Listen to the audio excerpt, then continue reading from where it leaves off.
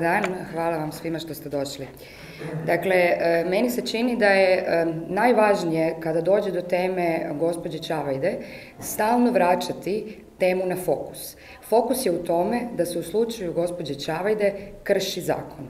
Prekršile, prekršile su ga sve ustanove kojima se ona obratila po pomoć, a osim toga sada vidimo da na to isto kršenje zakona pozivaju tri najmoćnije osobe u hrvatskom zdravstvu.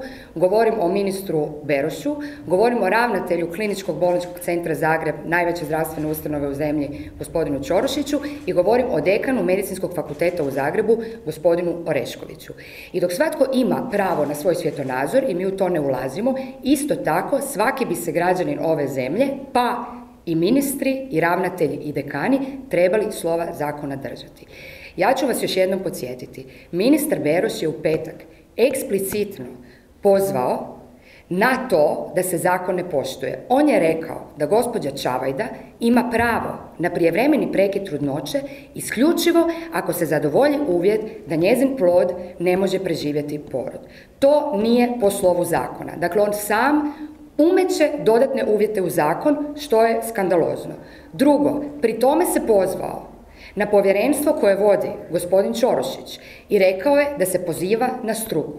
Ja ću vas podsjetiti da je gospodin Čorošić svojedobno još prije deseta godina bio javno i jasno se zalagao za zabranu a, zamrzavanja embrija, što je standardni postupak u procesu medicinski potpomognute oplodnje sa argumentom da se to treba zabraniti jer se na taj način ubijaju nerođena braća i sestre djeteta koje će doći na svijet.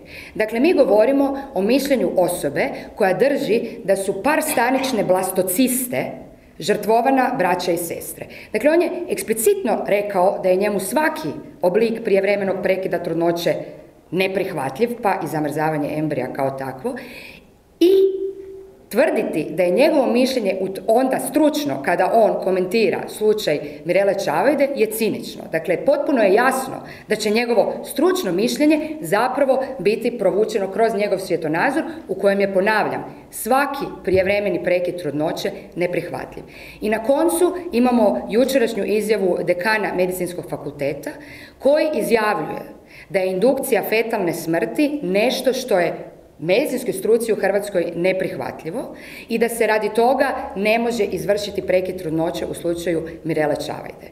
Dakle, indukcija fetalne smrti je integralni dio, integralni dio postupka prekida prijevremenog trudnoće nakon 22. tjedna u svakoj sučutnoj, humanoj i milosrdnoj državi koja brine za svoje građanke. Dakle, to što je dekan poručio je također direktna intervencija u zakon, jer je on time rekao da njegova struka neće poštivati zakon nakon 22. tjedna trudnoće, a jasno je iz samog zakona i slova zakona da ta granica ne postoji, niti bi trebala postojati.